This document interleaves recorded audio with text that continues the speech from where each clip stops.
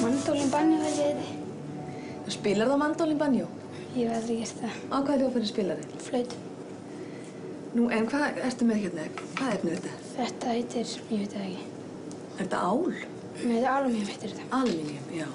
Og hvað, setur það hérna staðin fyrir eh, þessu Já. leðrið á að vera það ekki? Má sjá, hvernig gerur það? Mhm. Og svo er þessu, Já. þetta. Og þetta er allt gert sjálf? Já.